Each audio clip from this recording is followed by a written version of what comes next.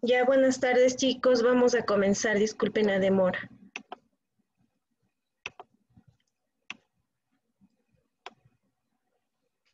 Bueno, como ustedes saben, al final de la clase voy a tomar captura de, de los participantes y así eh, anotaré la asistencia, ¿no? Vamos a comenzar con la clase del día de hoy. Eh, la organización política y social, hábitos y costumbres de las sociedades prehispánicas que estábamos hablando, aztecas, incas y mayas, ¿no?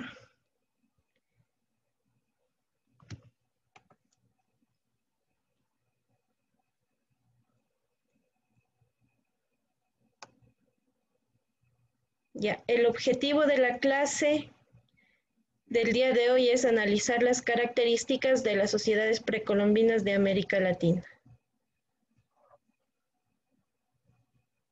Ya, vamos a comenzar recordando, chicos, eh, dónde es la ubicación de cada uno de ellos. Para eso, eh, le voy a pedir a la señorita Puyay me va a decir la ubicación de los aztecas.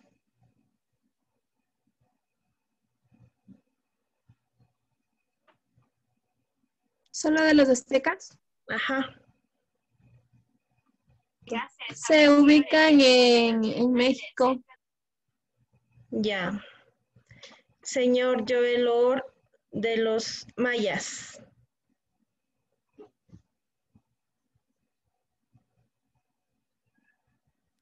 Que se ubican en Sudamérica. Señorita Génesis Atienza. La ubicación de los mayas, por favor.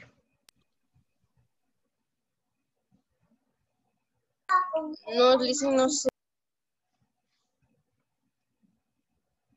Sí realizaron las tareas, chicos.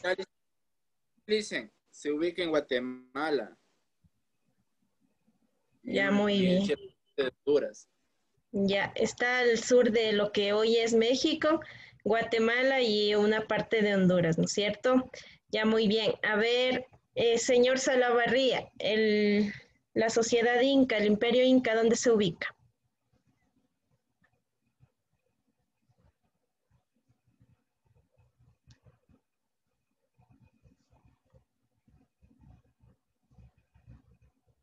Si estás a la barriada. Profe, no, le escucho. Internet está entrecortado y no, no le escucho. A ver, señorita Lord Angelín. Em, Argentina, Ecuador, Perú, ah, Bolivia, más o menos por ahí se encuentra la organización muy bien, entonces, eh, muy bien chicos, han recordado dónde se encuentra cada una de estas civilizaciones, ¿no? Los aztecas, los mayas y los incas en el mismo orden, como ustedes pueden observar, de norte a sur, ¿no? Le hice una pregunta. Dígame. ¿Tahuantinsuyo es de los incas? Ajá, el Tahuantinsuyo es de los incas. Ya, gracias. Ya vamos ahorita a ir analizando cada una de estas sociedades. Al inicio vimos de los números, ¿no es cierto?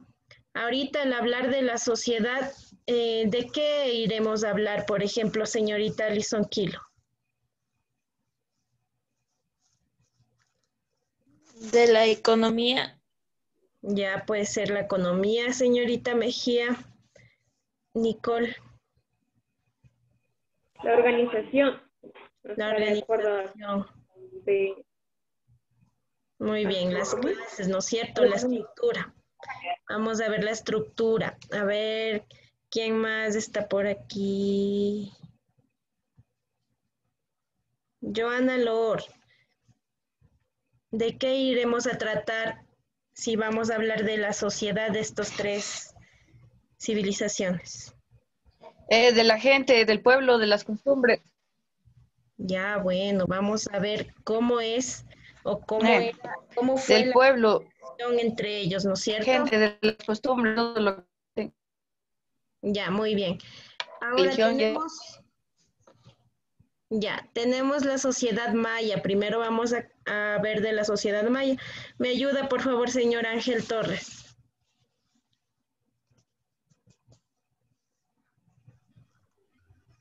A ver, le leo. Ajá, lea.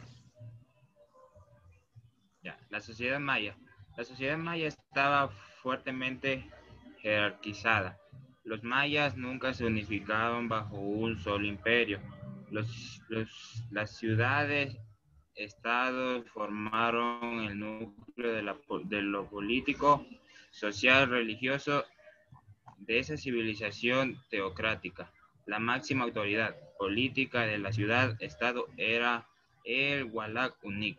Yunik. Ya, muy bien. Entonces, eh, la sociedad maya em, tenía una máxima autoridad, como ustedes pudieron escuchar, ¿no es cierto? Que era el Alak Unik. ¿Sí? Esto significaba hombre verdadero. Aquí nos dice también que estaba fuertemente jerarquizada, ¿no es cierto? ¿Qué será jerarquizado? ¿Qué querrá decir jerarquizado? A ver, me ayuda. Señorita Jessica Sevilla.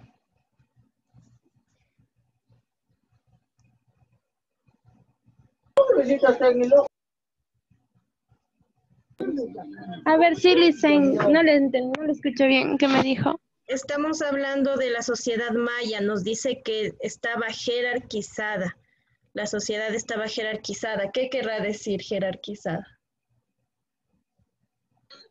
O sea, por muchos, ¿cómo le digo? Mm, a ver, sería... Por esas esta- eh, estatuas así, esas jerarquías, o sea, como... No sé más o menos dicen cómo decir. ¿Qué querrá decir Dicen es cuando están organizados. es organizado. ¿Ya organizados en qué?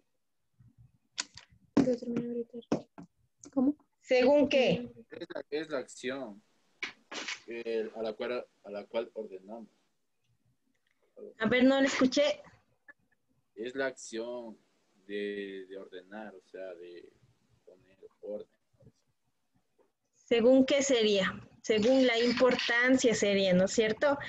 Eh, como saben, antes eh, ellos tenían una propiedad que era común, ¿no es cierto? Entonces, ellos estaban jerarquizados, es decir, ordenados según la importancia y según eh, lo que desempeñaban dentro de la sociedad. Sí, aquí nos dice... Los mayas nunca se unificaron bajo un solo imperio, sino que tenían ciudades-estado, dice, que formaban un núcleo político. Sí, vamos a ir ya a la siguiente. Ya, estos mayas también nos dice aquí que tenían, tenían una sociedad, una civilización teocrática. Teocrática quiere decir que creían en los dioses, ¿no es cierto? Basada en sus dioses, que generalmente tenían que ver con los fenómenos naturales y con los astros que ellos seguían, ¿no es cierto? Que ya vimos antes en los números y que también vimos en los calendarios. Ya. Vamos a ver el siguiente, la siguiente diapositiva donde hablamos de la sociedad maya, ¿sí? De la estructura. Nos dice que primero estaba la máxima autoridad, que era el Alak Unik, que significaba hombre verdadero. Este era el emperador, ¿no es cierto?, Del- de los mayas. Era también, dice, entre sus prerrogativas estaba el nombramiento de un consejo asesor y la designación de los jefes de las aldeas que tenían funciones civiles, religiosas y militares. Entonces, como ustedes pueden observar, está un poco corta la imagen, pero bueno, ustedes pueden observar al inicio, dice hombre verdadero y está encabezando la pirámide de la sociedad maya. Sí, luego nos dice, parte de la nobleza eran autoridades militares electas cada tres años, los tupiles o guardianes y los olpopó o consejeros. Entonces, aquí los observamos, dice, los más altos del sol, ¿no es cierto? Que eran los sacerdotes, bueno, ahí nos dice los que tienen madre, padres y madres de la nobleza. Ya nos dice acá también, también pertenecían a la nobleza los sacerdotes, los guerreros y los mercaderes.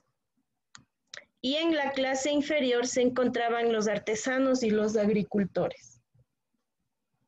Estos hacían trabajos manuales pesados y pagaban tributos civiles y religiosos. Entonces, vamos con la clase más baja, ¿no? Y al final de esta pirámide estaban los esclavos, que eran prisioneros de guerra y que estaban destinados a los sacrificios.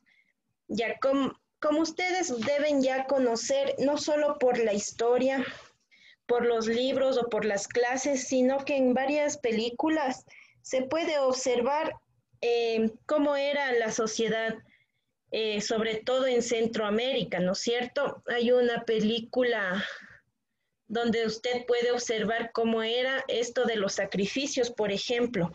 No recuerdo el nombre. ¿Alguien puede recordar el nombre de esta película? ¿Quién me puede ayudar?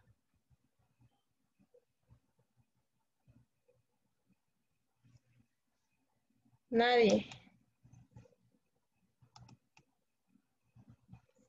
Bueno, si recuerdo, les voy a comentar para que ustedes puedan observar.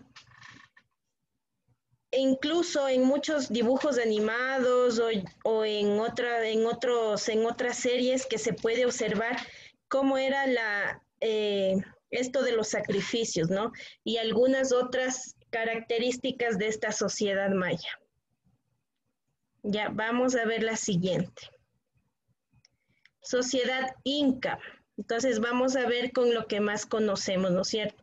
Más conocemos porque venimos viendo desde la escuela y es la historia que nos pertenece, ¿no es cierto?, a nosotros como ecuatorianos y como sudamericanos. A ver, quiero que me ayude con la lectura, señor Wilmer Mena.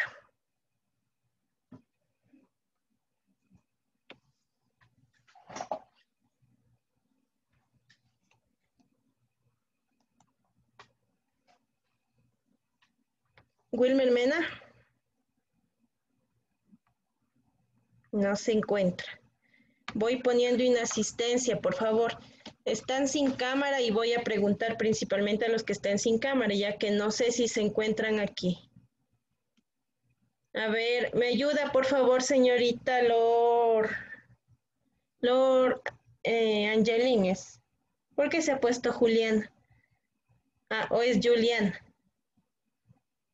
Es mi segundo nombre, pero... ¿Es Juliana o Julián?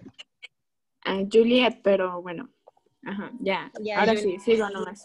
Dígame. Sociedad Inca. Los pueblos andinos estaban unificados en un solo imperio, el Tahuantinsuyo. La máxima autoridad era ejercida por el Inca.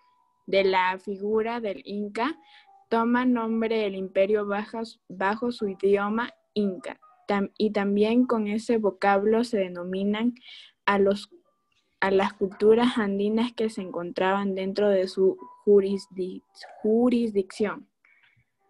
Además de tener características absolutistas, el gobierno hereditario del Inca era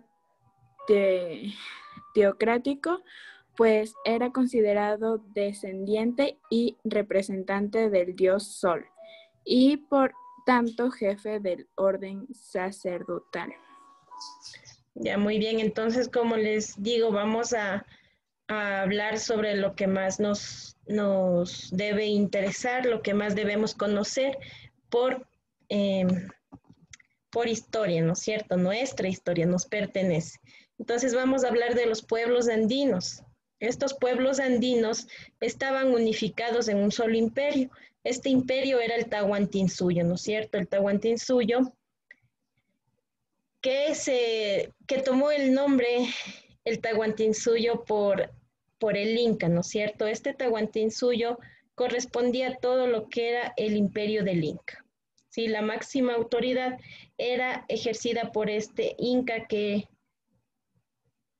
este, que tenía la autoridad sobre todo el imperio, ¿no? Ay, no, no, no, no.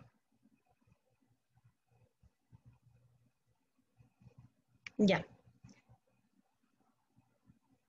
También nos dice aquí que se denominan incas a todos los pueblos que pertenecían a este imperio. Y al imperio Tahuantinsuyo también se le conoce como el imperio inca.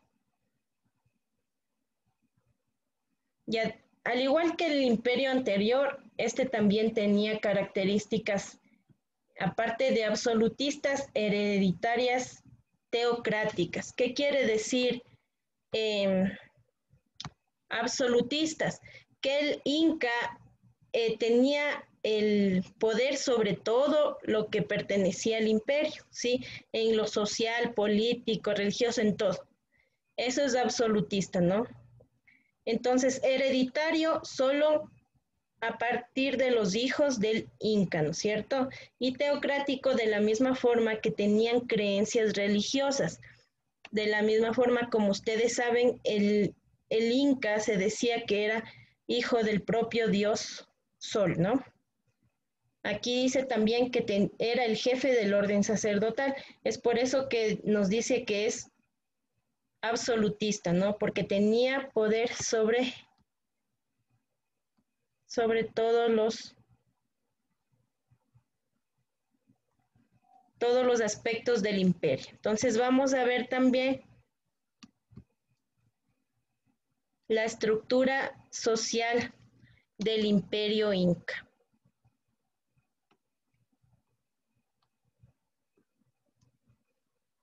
Ya, entonces como ustedes pueden observar aquí, habían cuatro clases sociales específicas en la pirámide de los incas, ¿no es cierto?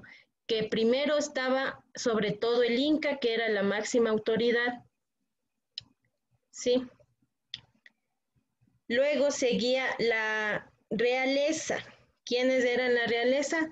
La familia directa del, del Inca, ¿sí? Nos dice, por debajo del Inca se encontraba su familia, que ustedes pueden observar en la pirámide es el Lauqui, el hijo del Inca, y los panacas reales, que eran las primeras generaciones de cada panaca, es decir, la familia directa, ¿sí? Del Inca. Ellos estaban en la realeza. Luego seguía la nobleza. La nobleza nos dice, ocupa el siguiente estrato. Entre ellos eran elegidos los funcionarios públicos y los jueces de distintos rangos. Sí, aquí tenemos nobleza de sangre y nobleza de privilegio. Nobleza de sangre dice que es el resto de la familia de los panacas, ¿sí? Es decir, era familia del Inca, pero no eran eh, familiares directos. Y la nobleza de la nobleza de privilegio, que eran las personas que se destacaban por su servicio, los sacerdotes y los altos jefes. Por último, tenemos al pueblo en general, que eran los Hatun Runa, ¿sí? Era el pueblo en general, los agricultores y artesanos. Y al final de la pirámide está el pueblo, los mitimaes, que eran utilizados como colonos. Los mitimaes eran destinados a, las, a los trabajos, ¿no? A los trabajos más pesados.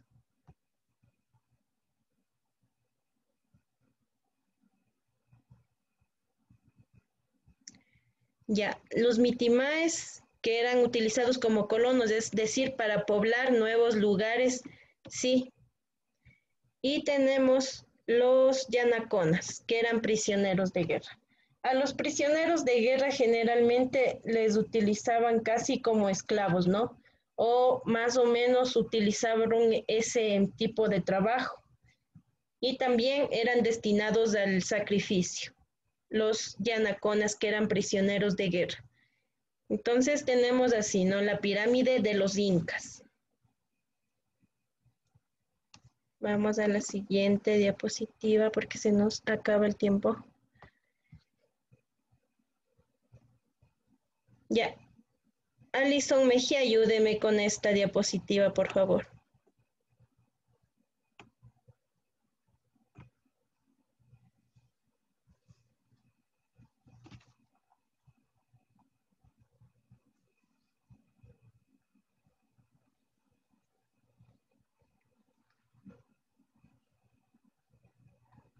Dicen no puedo observar la imagen. Ya, ahora ¿No? Dice Confederación Azteca. El núcleo de la sociedad azteca era la familia patriarcal y mon- monógama, aunque estaba permitida la poligamia. A cada familia le era asignada una parte de las tierras comunales para su cultivo y usufructo. Varias familias dentro de un mismo territorio componían un calpulli, unidad social multifuncional. Varios calpullis conformaban un bar. Ya, entonces vamos a, a ahora trabajar en la sociedad azteca, ¿no es cierto? Que está igual, al igual que la sociedad inca y maya, tuvo gran desarrollo y mucho más, creo yo, ¿no es cierto? Donde, como ustedes pueden observar, generalmente la sociedad azteca giraba en torno a una gran pirámide, ¿sí? Era de tipo patriarcal y monógama, nos dice, aunque estaba permitida la poligamia. que es poligamia? Que eh, podían tener varias esposas, ¿no es cierto? Varias mujeres. A cada familia le era asignada una parte de las tierras comunales para su cul- cultivo y usufructo, que quiere decir usufructo para que aproveche cada una de la familia, ¿no es cierto? Las familias dentro de un mismo territorio componían un calpuli, cada, cada, perdón, la unidad social multifuncional. Un calpuli nos dice aquí era la unidad social, ¿no? Y que varios calpulis conformaban un barrio. Generalmente este barrio dice dedicaba alguna actividad productiva, en especial a la agricultura, la artesanía o a otro oficio. Ya, entonces vamos a ver también la sociedad azteca. En los aztecas de la misma forma observamos la estructura de la sociedad azteca tenía la forma de la pirámide y al principio estaba el rey o Tlatoani, ¿sí? Nos dice aquí, los jefes de los calpulis, la gente común que había prestado un servicio meritorio al Estado y los jefes militares, los sacerdotes y la familia real conformaban una especie de nobleza encargada de la burocracia estatal. Entonces, luego seguía la nobleza, ¿no es cierto? Dice aquí, el rey presidía el Consejo Supremo, donde participaban las máximas autoridades y delegados de los calpulis. Sí, recordando que los calpulis eran la unidad social multifuncional, ¿no? Entonces aquí nos dice la nobleza estaba conformada por los jefes administrativos, sacerdotes. Dentro de esta clase estaban los señores que gozaban de gran prestigio.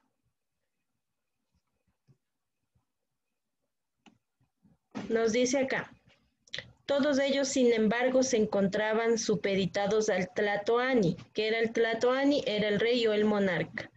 Aunque algunos hablan de imperio azteca, po políticamente se trataba de una confederación formada por Tenochtitlán, Tlacopan y Texcoco, bajo la hegemonía de la primera. Es decir, que ¿por qué, ¿por qué se llamaba Confederación Azteca? Porque era una unión de varios eh, pequeñas civilizaciones, ¿no es cierto? Entonces, la confederación, ¿qué quiere decir? Unión. Sí, entonces el imperio azteca nos dice aquí, no podemos hablar de imperio, sino de confederación, que estaba formada por las tres que observamos ahí, pero el dominio lo tenía Tenochtitlan, ¿no? Entonces, chicos, bueno, el tema del día de hoy ha sido este, hablar sobre todo de cómo estaba estructurada cada una de las sociedades, eh, dejándoles claro, la estructura de la sociedad tiene referencia a cómo estaba el orden de jerarquía de la sociedad de cada una de estas civilizaciones, ¿no es cierto? Entonces espero que les haya quedado un poco claro.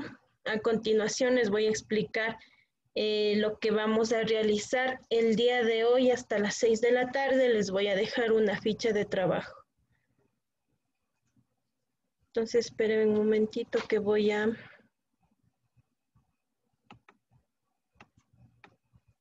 Voy a parar la grabación.